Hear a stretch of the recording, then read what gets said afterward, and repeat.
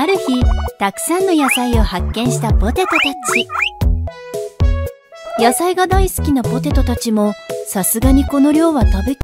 かも